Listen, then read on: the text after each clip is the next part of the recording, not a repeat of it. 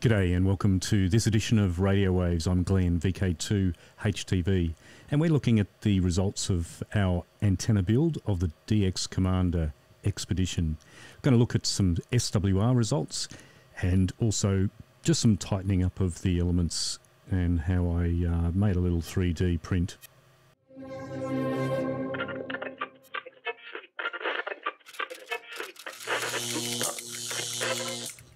So we've got the DX Commander up now for about a week, and one of the things at the moment is that it's very windy. So what I want to do is straighten up those elements so they go up one side and down the other, and that way we have a nice SWR and the signal getting out. You can see there that it's uh, quite windy at the moment, and it's bending quite significantly.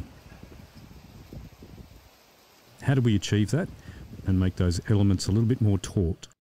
Well, I got the 3D printer out and printed off this little three hole device, I guess you call it.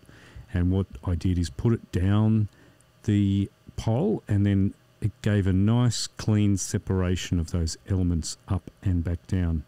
It uh, actually was a little bit too big on the center pole, so I just used a bit of amalgamating tape to actually bring it back up to where that 40 and 15 meter element comes to. So that is the little solution that I've just made and we still put the uh, aquarium tube on to actually separate those elements and that uh, that way it makes it nice and tight and gives me a good SWR even in some pretty strong winds that we're experiencing at the moment. So you can see those elements are nice and taut and gives me a great SWR even in some pretty strong winds that we're experiencing at the moment.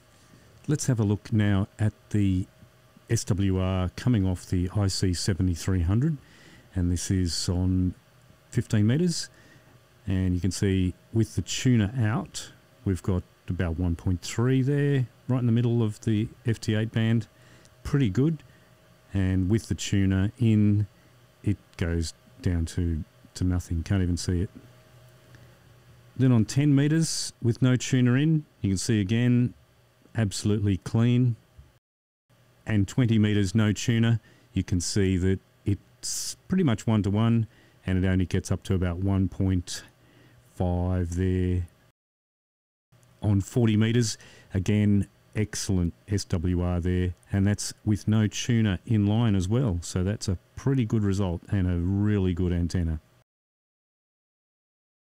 Thanks for watching, and I hope you can tune in again for another edition of Radio Waves.